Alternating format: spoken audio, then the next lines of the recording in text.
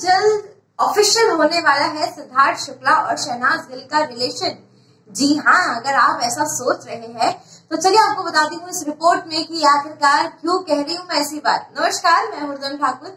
स्वागत करती हूँ आप सभी का बॉलीवुड हेडलाइंस में। वेल आपको बता दूँ कि सिद्धार्थ शुक्ला ने शहनाज गिल के बर्थडे पर एक रिजॉर्ट बुक किया था, जो कि लोखंड वाला में है, और वहाँ पर आई थी शहनाज गिल की मम्मी एंड मौसी। और ये दोनों आके जो है घुल मिल गई है एक बॉन्ड बनता हुआ नज़र आ रहा है सिद्धार्थ शुक्ला की फैमिली के साथ में भी। जी हाँ इनफैक्ट शनाज के फादर जो है उन्होंने पंजाब से ही एक वीडियो शेयर की थी शनाज के बर्थडे पर। लेकिन शहनाज की मम्मी और मौसी जो है दोनों पहुँची थी मुंबई। यहाँ पर शहनाज दिल का बर्थडे सेलिब्रेट करने के लिए।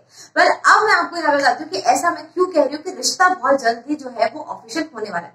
देखिए, सिद्धार्थ शुक्ला काफ़ी रिलेशनशिप में रह चुके हैं, जिनकी खबरें जो है जोरों शोरों से मीडिया में और सोशल मीडिया पर दोनों पर पता चली है। कभी अनाउंस की गई है तो कभी नहीं की गई है।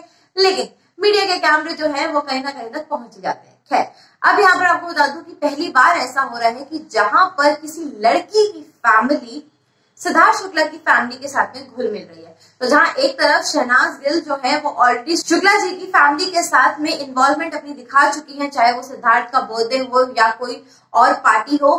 तो यहाँ पर अब शहनाज की फैमिली और सिद्धार्थ की फैमिली दोनों ही एक दूसरे के साथ में मिलती हुई नज़र आ रही है, जिसकी तस्वीरें सोशल मीडिया पर आपको देखने को ज़रूर मिल जाएगी। सो गाइज़ आप लोगों को क्या लगता है? क्या बहुत जल्द हैश टैग जो है, अपनी वेडिंग अनाउंसमेंट कर सकते हैं?